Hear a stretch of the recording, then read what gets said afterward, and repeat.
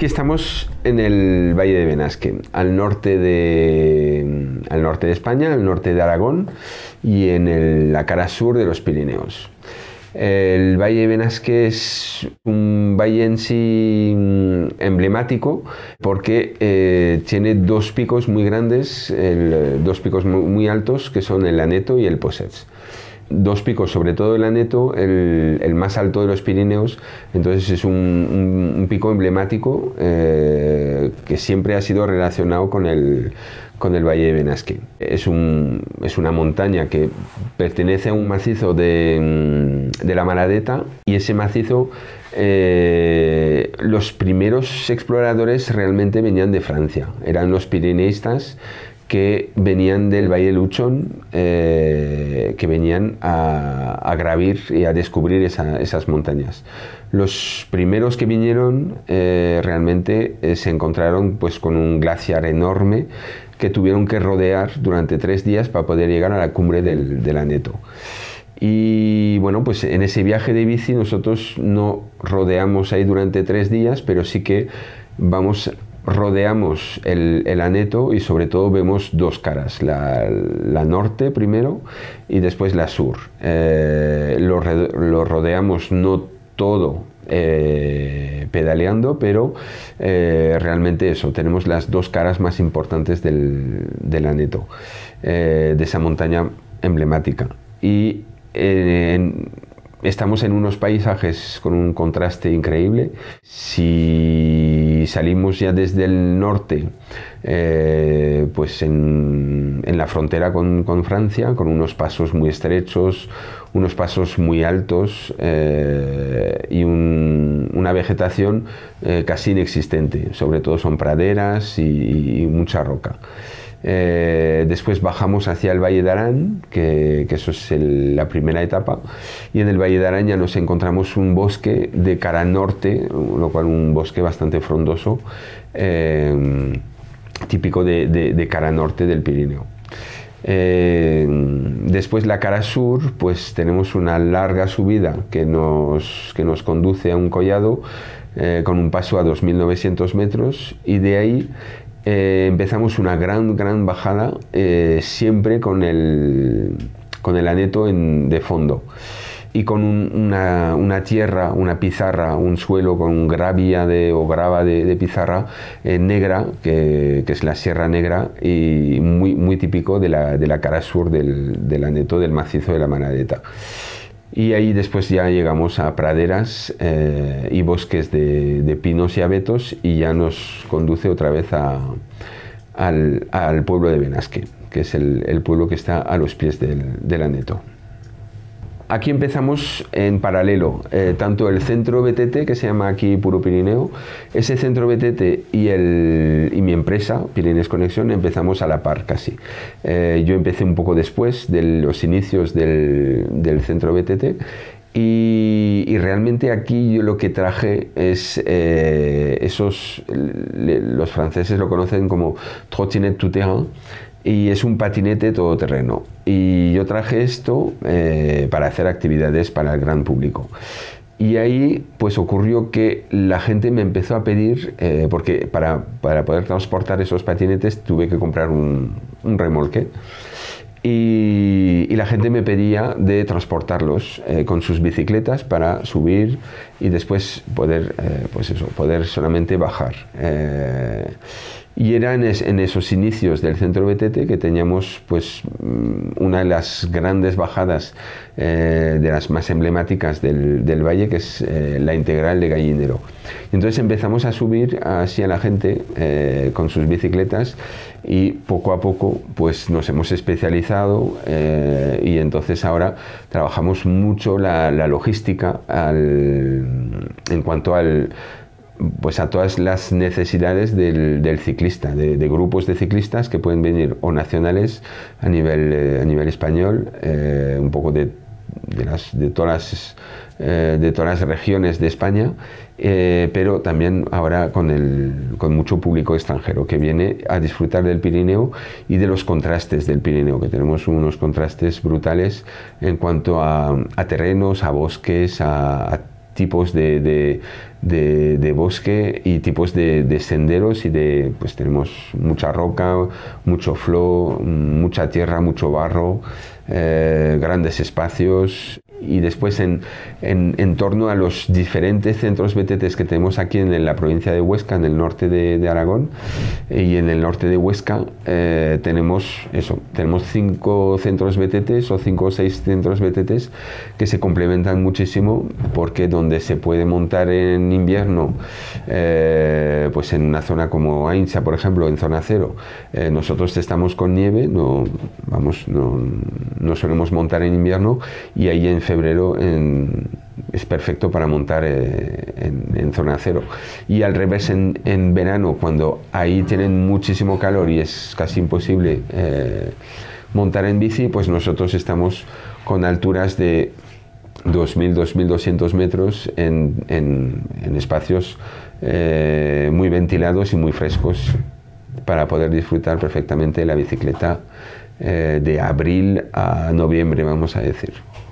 Este año, este año tenemos el, hemos tenido el apoyo de, Aramón, de la estación de esquí, que eh, empieza a interesarse, en el producto ciclista y, eso al final creo que es, es, muy bueno para crear un destino bicicleta, eh, porque sí que es cierto que tenemos, eh, ahora creo que Puro Pirineo se ha hecho un nombre, eh, o el Valle de Benasque se ha hecho un nombre a nivel español, eh, mucha gente extranjera también lo conoce, y, viene en busca de esos, de esos trails naturales pero eh, dentro de la estación, por ejemplo, en el ámbito de la estación, ahí igual sería más fácil hacer trails trabajados, artificiales,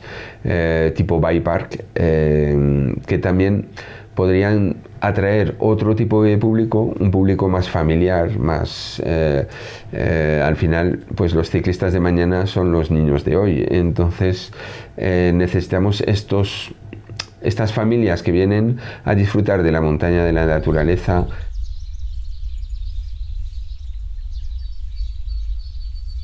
Buenos días, yo soy Tomás, Tomás Arcas, soy el presidente de Puro Pirineo.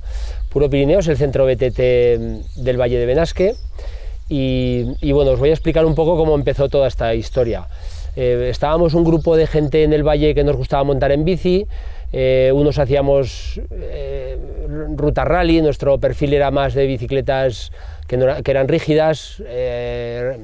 ciclar por pista, luego había un grupo de gente que de una manera legal estaban abriendo caminos, estaban mal vistos por la gente del valle, bueno, había ahí un, un poco de, mosqueo por parte de, otros colectivos. Em, bueno, esto nos llevó un poco a, junto con mi perfil que tengo, con mi perfil personal, que soy el propietario de un camping en Sesue y también concejal en un ayuntamiento, y entonces vimos en, la bicicleta como la posibilidad de explotar un recurso turístico y hacer que, em, bueno, pues que vinieran visitantes con sus bicicletas a conocer el valle y, realmente el tiempo creemos que nos ha dado la razón. Nuestra, desde el punto de vista material, nuestra materia prima son los caminos, nuestro, trabajo es la recuperación principalmente de antiguos caminos, para la práctica principalmente de la BTT, pero no solo la única, porque desde, desde otro prisma que, que, también es muy importante, que es desde el social, pues en nuestro ADN está el, el, el gestionar y hacer de la convivencia en el espacio esperamos. Como decía, desde el punto de vista social nos parecía muy importante em, el, garantizar una buena convivencia entre los diferentes colectivos de, este espacio tan natural como es el Valle de Benasque. Entonces, bueno, pues al principio costó un poco recuperar un poco la credibilidad, sobre todo internamente, pues eh, eh, hacer, hacer creíble nuestro proyecto a ayuntamientos, a cazadores, a ganaderos, eh, se ha demostrado que generamos economía, que, podemos convivir con el resto de colectivos, que nosotros no recuperamos ese patrimonio etnográfico que son los caminos exclusivamente para la bicicleta, son para, todo el mundo. Y, hoy creo que hemos generado una necesidad dentro del, valle, porque se ha convertido en un recurso turístico que, bueno, que esperemos que esté llamado a a, hacer que muchos visitantes en temporadas medias y bajas vengan al Valle de Benasque. Em, Eh, Puro Pirineo nació en el 2014, llevamos ocho años de andadura y, bueno, como decía, los ayuntamientos cada vez son más, mm, toman conciencia de la importancia del camino. El camino, perdonar que lo utilice tanto, pero yo creo que el camino es, es la base de todo este tinglao. Em, bueno, hablaré también de, o, me voy a centrar ahora en el tema de en la bicicleta. La bicicleta se, incorporó al camino con, estos usuarios que estaban al principio en el valle de una manera legal, hubo que dar cobertura a todo esto, hubo que hacer hubo que legalizar los caminos para señalizarlos, porque todo lleva su proceso. Parece que, que, cuando te metes en un camino con una bicicleta parece que ha caído del cielo y no lleva y no lleva nada de burocracia detrás, pero claro que la lleva. Cada camino necesita unas autorizaciones, unos estudios ambientales y unas cositas que hay que tramitar. Bueno, pues eh, eso nos ha dado credibilidad y, ha hecho que, todo el mundo pues, apoye cada vez más a, la labor de Puro Pirineo. Eh, la Asociación Puro Pirineo la forman 70, 75 empresarios del Valle, que, ven, como decía al principio, en, el visitante en bicicleta pues la, posibilidad de, generar economía en sus negocios. Ya hay empresas que están exclusivamente dedicadas a la bicicleta que se han, se han instalado en nuestro territorio y, bueno, pues cada vez eh, es un producto emergente, no, mm, va camino ya de, considerarse consolidado y le queda mucho camino por recorrer, no es algo que ocurra solo en el Valle de Benasque, es una cosa mundial, es decir, en las ciudades hay, hay, lo diré mañana, carriles bici, hay por todos los lados, la bicicleta está, está aumentando ratios de uso. Em, a futuro, Puro Pirineo tiene en mente abrir, ampliar territorio hacia la zona sur del Turbón, incorporar nuevos ayuntamientos, nuevas zonas y, así inmediatamente ya a medio plazo en la estación de esquí de Cerler pues pensar en, bueno, pues en, trabajar y en abrir unas rutas que, se pudieran, que, que pudieran convivir con el uso de estival del Telesilla de las instalaciones de remontes mecánicos que hay en la estación de esquí de Cerler. Ese es nuestro futuro inmediato y ya no sé qué más contar.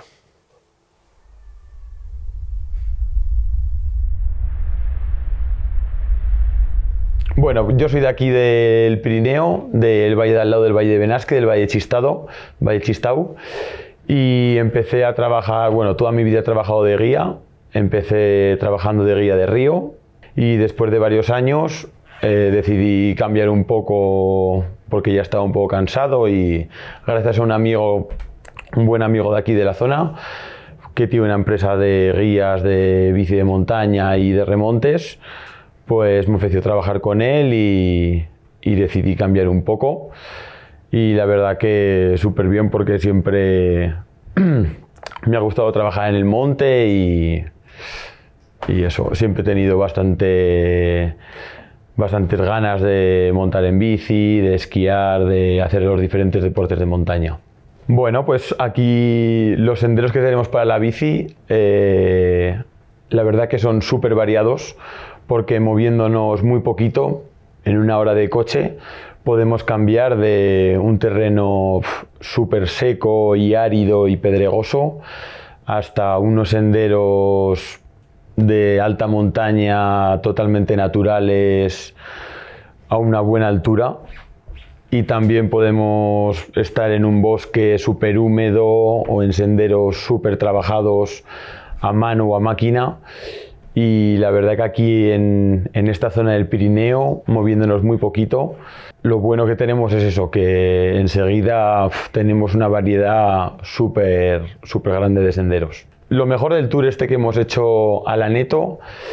es que